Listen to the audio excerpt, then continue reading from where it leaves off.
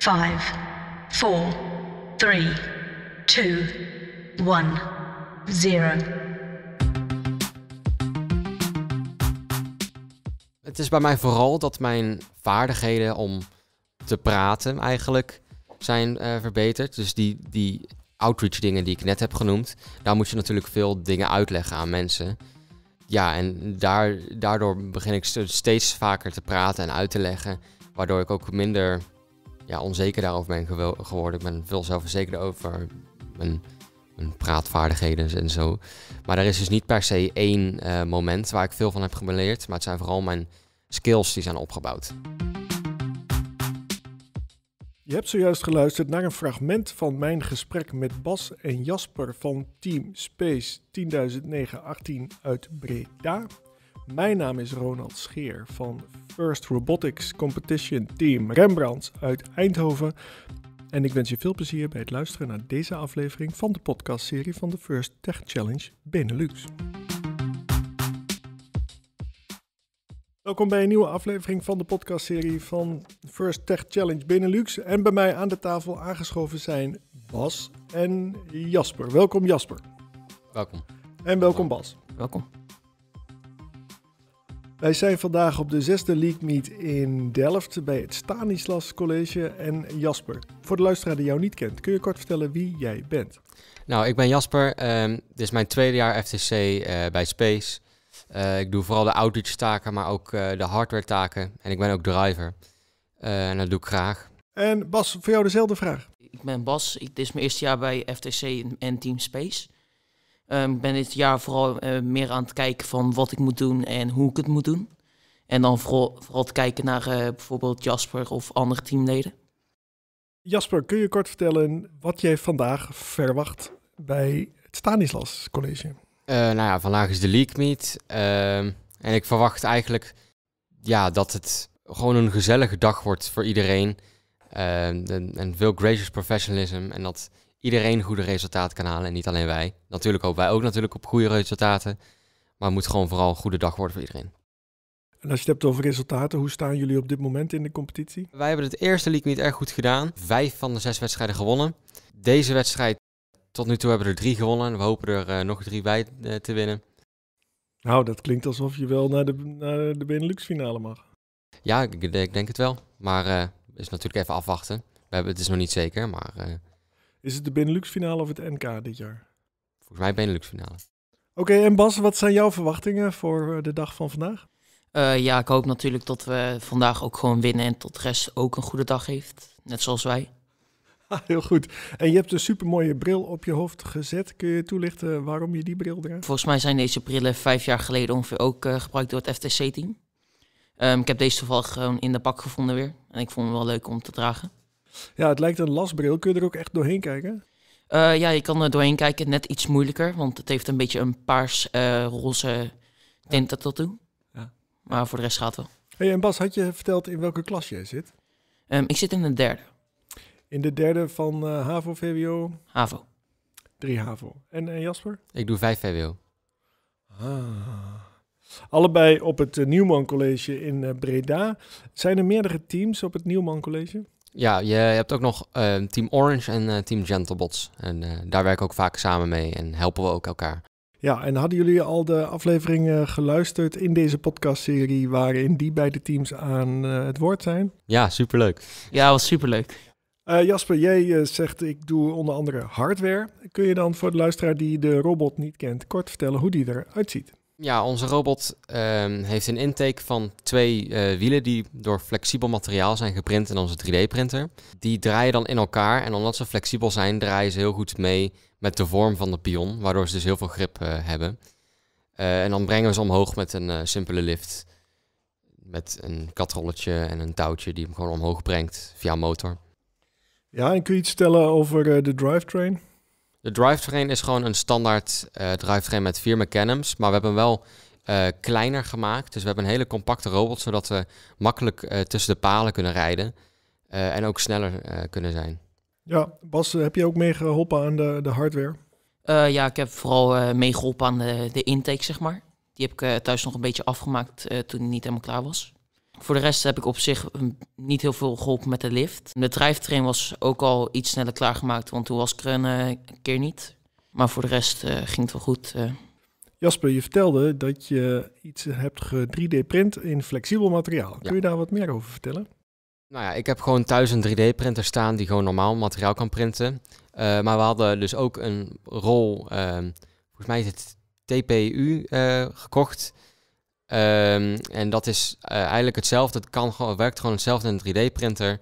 Alleen als je hem ehm, print, dan is het ja, flexibel en kan je het een beetje indeuken en een beetje buigen. Waardoor het erg makkelijk is voor zo'n intake. Ja, heb je wel eens geprint met Ninja Flex? Volgens mij is dat vergelijkbaar met wat wij hebben gebruikt. Oké, en je gaf aan, het is een printer die normaal materiaal kan printen. Bedoel je dan PLA? Ja. Ah, oké. Weet je toevallig welke, welk merk, eh, type ro- 3D-printer je hebt staan? Ik heb een Ender 3V2 staan. Ah, met heated bed. Ja. Heel goed. En ben je ook aan teamleden aan het uitleggen hoe die werkt en eh, of ze er zelf mee aan het werk kunnen? Nou, eh, vele van de teamleden hebben zelf ook een 3D-printer, dus ik ben niet de enige. Dus da dat eh, weet het team eigenlijk al wel. Wat een eh, luxe dat jullie zoveel 3D-printers hebben. Ja. En, en dat is allemaal hobby. Ja, voor mij, eh, ik heb hem zelf gekocht als hobby, maar het is natuurlijk eh, ideaal om te gebruiken voor FTC. Ja, en eh, gebruik je hem ook naast de FTC? Ja, gewoon voor leuke dingetjes om thuis mee te printen. Wat is het meest recente wat je voor leuk hebt geprint? Ehm, ik heb een schaakbord geprint. Dat was eh, wel een gaaf project. Wow, een schaakbord. Ja. En dan met twee verschillende materialen? Ja, maar ja, ehm, wel beide PLA, maar dan zwart en wit kleurig. Wow. Duurde wel eventjes, maar eh, dan heb je ook wat. Ja. En eh, dan eh, kun je een infill gebruiken van eh, minder dan 20%.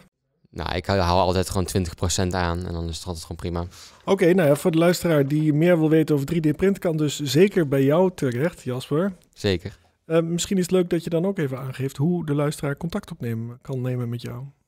Nou ja, je kan natuurlijk altijd FTC Team Space op Instagram DM'en. En die beheer ik ook. Dus voor FTC-vragen kan je daar altijd terecht Je zegt FTC Team Space. op Instagram. Dan kan je gewoon een DM sturen. Je bent ook nog driver. Ja. Je bent een veelzijdig mens. Dankjewel. Ja, de driver. eh, er zijn niet zo heel veel leden eh, in ons team, helaas. Ehm, dus er moest een keuze gemaakt worden voor wie de driver was. En ik was wel een van de meest actieve leden qua beschikbaarheid voor driver practice bijvoorbeeld. Dus we vonden het wel een goede match. Ja, Bas, misschien is het leuk dat jij eens uitlegt welke andere teamleden er zoal zijn. We hebben ook nog een andere driver, eh Luc. We hebben een human player, eh Pleun. Die eh, zet de pion de hele tijd in het veld. Onze drivercoach is Gabriel. Hebben we daarmee alle teamleden compleet? Eh, we hebben ook nog ehm, Rick. De, dat, die doet ook gewoon aan hardware, maar die is net een week eh, begonnen. Ehm, en we hebben nog Taro, dat is nog een outlet die eh, af en toe komt helpen eh, en advies geeft. En die is er vandaag ook bij. Ah, super tof. Hebben jullie ook docenten van Nieuwman College uit Breda die jullie begeleiden? We hebben Marielle Jongenelen eh, en dat is onze ehm, coach van de drie teams, om het zo maar te noemen. Eh, en zij is een docent op school bij het vak ONO, dat deel is van Technasium, dat speciaal is op onze school, maar ook bij andere scholen. En Marijn Luiten eh, is een geschiedenisdocent die ook wel eens helpt. En wat is de rol van eh, Bert? Bert is de vader van Pleun en is de, de coach. Zijn er meer ouders betrokken? Ehm, ja, voor het rijden naar de league meets en de championships komen ouders ook wel eens helpen. En we hadden vorig jaar een Tossie-actie en daarmee hebben ouders ook gesponsord eh, voor brood. En eh, doe je dit jaar weer een Tosti-actie? Eh, dat ligt eraan, maar ik verwacht het wel. En wat doen jullie nog meer op het gebied van sponsoring? Ehm, ja, we zoeken sponsors, techniekbedrijven in de omgeving Breda.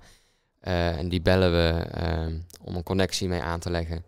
Maar we geven ook demonstraties voor ze als ze het eh, leuk vinden. Ehm, en ja, er zijn ook bijvoorbeeld, een van onze sponsors is eh, BUAS, Breda University of Applied Sciences. Eh, en daar zijn twee studenten van gekomen om te komen kijken, want die hadden interesse erin. Ah, heel goed. Hey Bas, als jij eens ehm, omdraait, dan kan ik achterop jouw shirt zien wie nog meer sponsor is. Zijn dit de meest actuele sponsoren van dit jaar? Ik zie LCB, ik zie Breda Robotics, Flowlink, FTC Team Space, dat zijn jullie zelf, Nieuwman College, het logo van First en Houdijk Holland.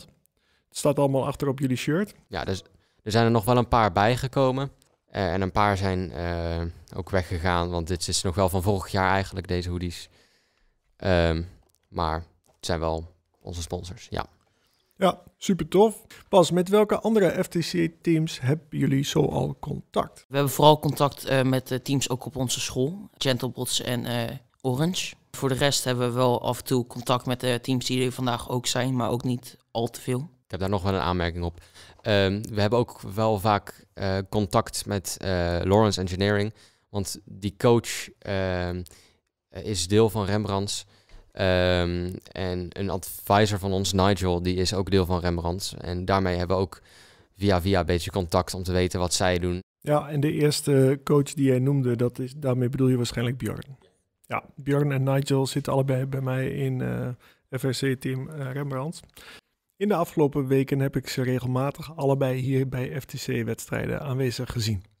We hadden het net over uh, sponsoring en dat je demonstraties doet. Dat is een stukje outreach misschien. Wat doen jullie nog meer op het gebied van outreach?